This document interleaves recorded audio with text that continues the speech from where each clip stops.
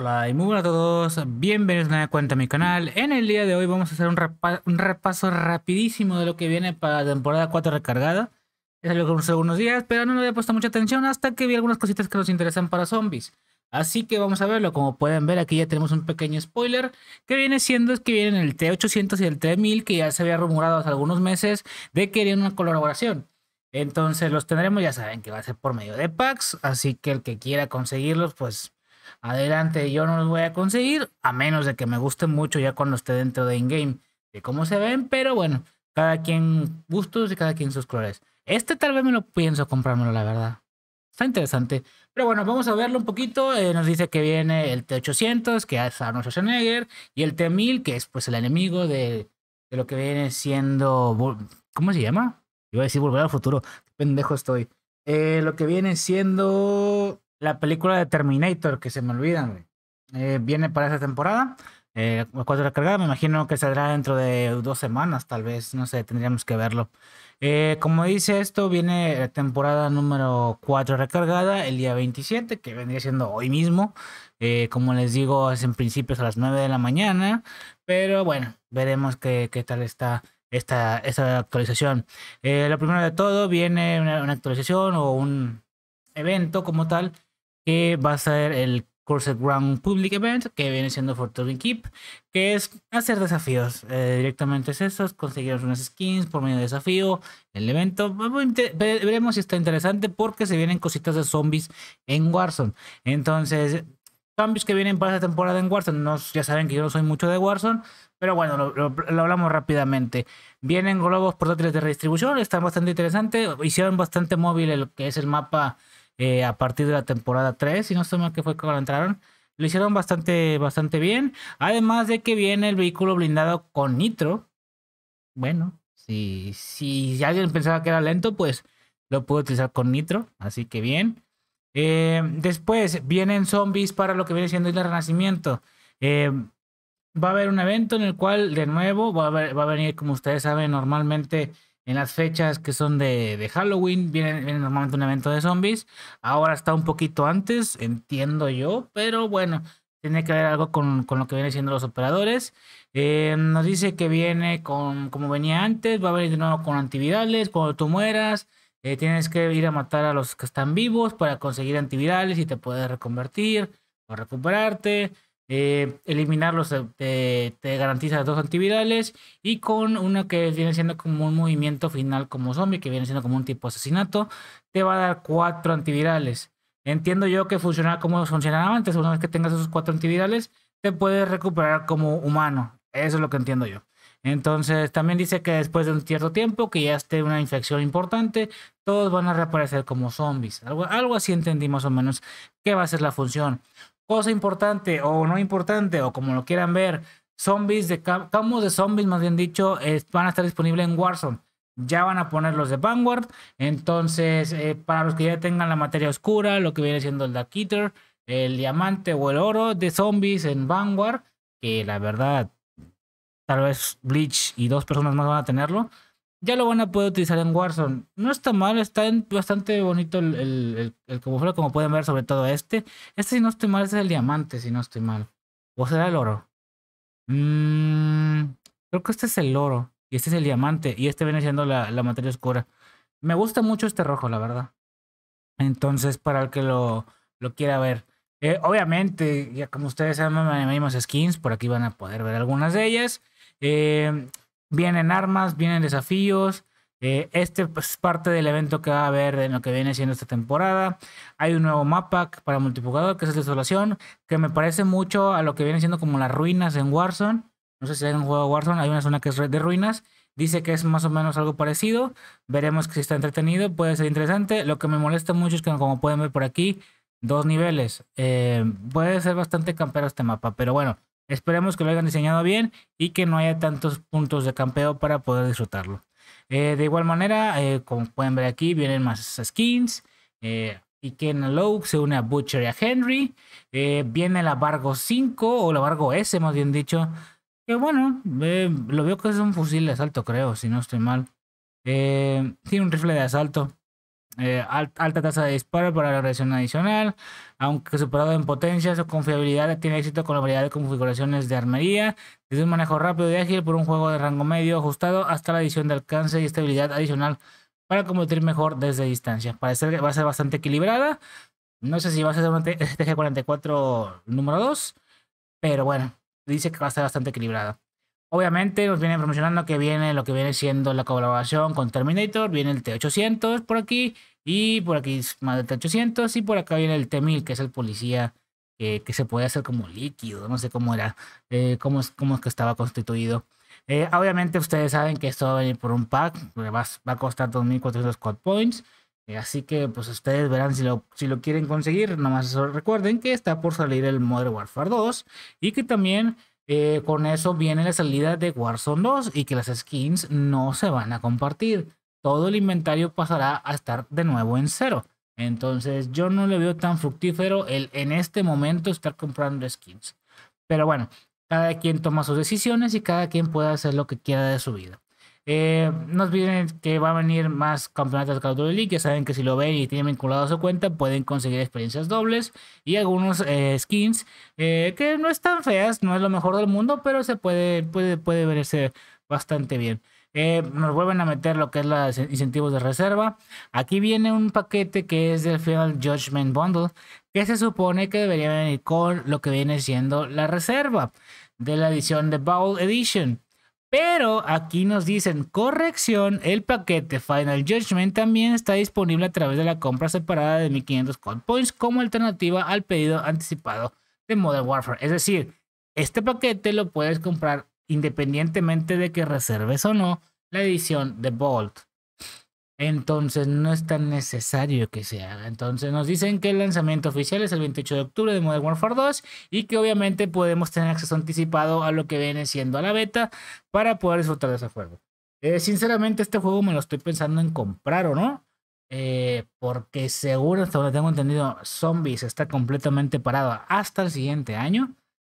Ya saben que yo soy muy de zombies, pero bueno, posiblemente termine cayendo en las garras de este juego y esperemos que esté bien hecho. Pero bueno, hasta que no tome esa decisión, decidiré qué voy a hacer con el canal, obviamente con ustedes. Y pero no se preocupen, yo creo que, que podemos traer bastante contenido más aparte de lo que ya tenemos. Ahora, también hay notas de parche por, por parte de Edgehammer Games. El Edgehammer Games está viendo más por la parte jugable. Eh, sinceramente, viene la parte de multijugador que no le voy a hacer ni caso porque no entiendo mucho yo de multijugador.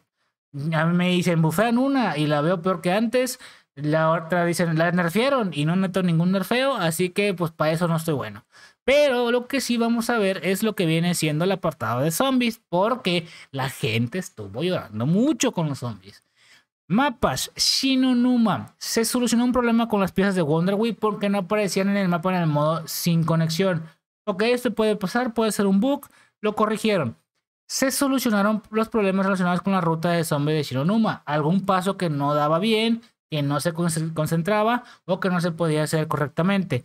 Se abordaron varios problemas visuales en Shironuma. Eh, había unos glitches visuales que realmente era complicado que te salieran, pero podían aparecer, así que se supone que ya lo corrigieron. Ojo, cosa buena que hicieron.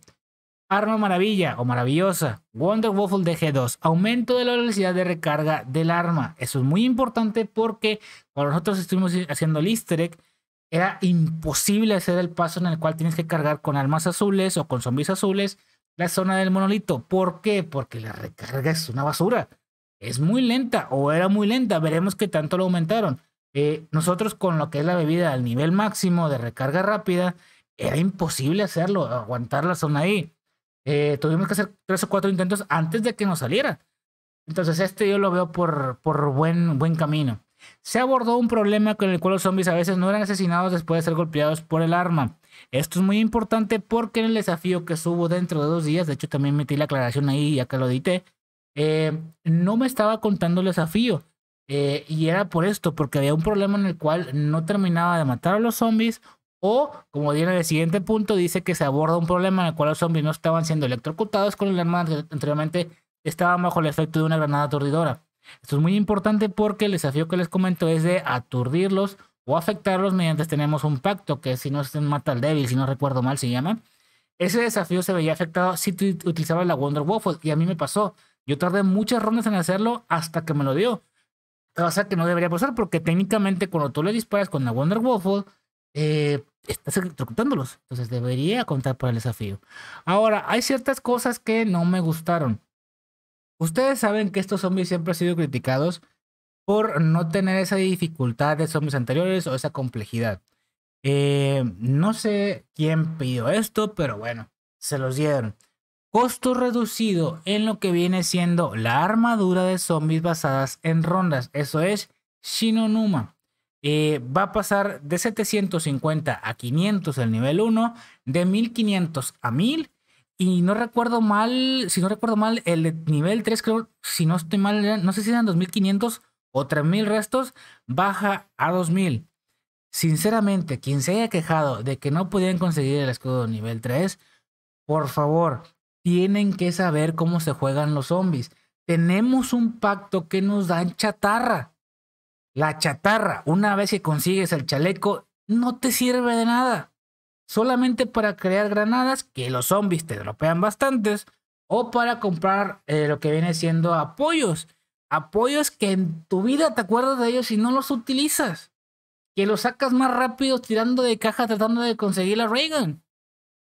No hay nada más en qué gastar los restos. ¿Cómo no te van a dar los restos para conseguir un chaleco a nivel 3? A menos de que llegas a ronda 10 nada más, no entendería. A ronda 12 tienes perfectamente el chaleco nivel 3. Incluso sin chatarra.